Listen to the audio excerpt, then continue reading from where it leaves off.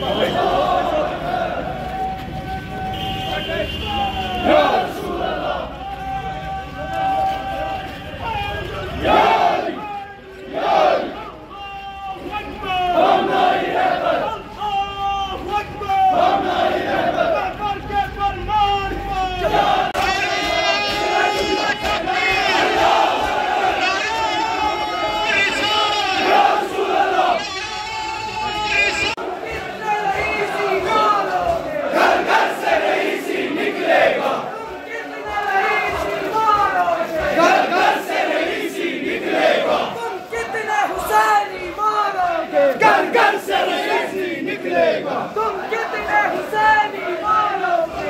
Yes.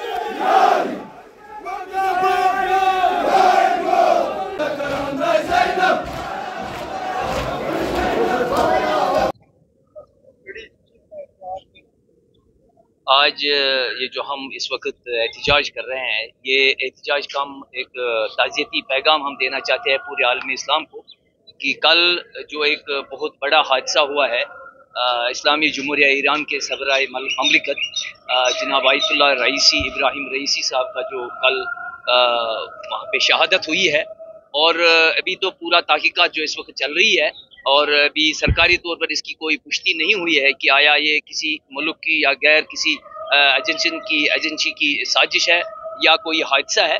لیکن اس پر ابھی یہ کہنا قبل از وقت ہے، لیکن ہم پورے عالم اسلام کو اس وقت تعزیت دیتے ہیں اور ہم اس وقت اپنی سرکار، جو ہمارے ریاست کی سرکار ہے اور جو گورنمنٹ آف انڈیا ہے، انہوں نے باضابطہ طور پر آج جو قومی پرچم ہے، اس کو نیچے اتارا ہے اور سرکاری چھٹی کا اعلان کر دیا ہے اور سرکاری شوق منانے کا بھی اعلان کیا ہے اور پورے دنیا کے ساتھ ہم عالم اسلام عموم اور بالخصوص اسلامی جمہوریہ ایران کے پوری جو قوم ہے اور پوری جو وہاں کی قیادت ہے ان کے ساتھ ساتھ ہم بھی اس سوگ میں باضابطہ جو ہے حصے دار ہے اور سوگ منا رہے ہیں۔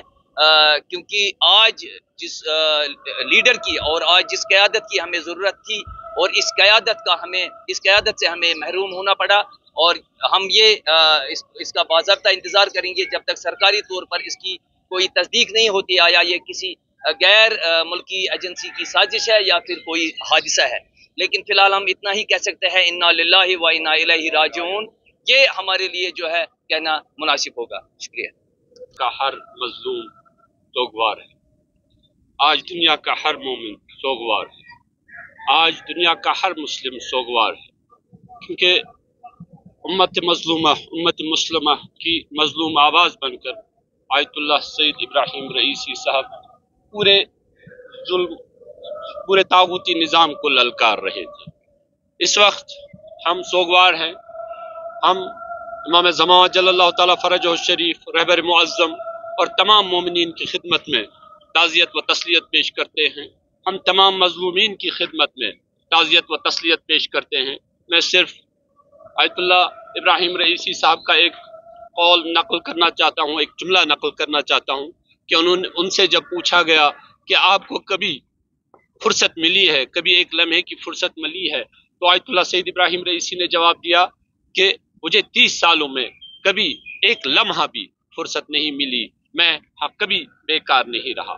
یہ ہمارے لیے شعار ہے۔ یہ تمام ان مومنین کے لیے شعار ہے جو اس کو اپنا لیڈر مانتے ہیں، اس کو اپنا رہبر مانتے ہیں۔ ہم اس وقت پھر ایک بار پھر تمام مظلومین کی خدمت میں تعزیت و تسلیت پیش کرتے ہیں۔ چاہو، چاہے وہ کسی بھی مذہب کا ہو، کسی بھی مسلک کا ہو، انہوں نے کبھی مسلک نہیں دیکھا۔ وہ فلسطین کی آواز بن کر گرجے، وہ قرآن کی آواز بن کر یو این او آفس میں گرجے۔ لیکن انہوں نے کبھی مسلک، کسی کا مسلک نہیں پوچھا، کسی مظلوم کا مسلک نہیں پوچھا، کسی مظلوم کا مذہب نہیں پوچھا۔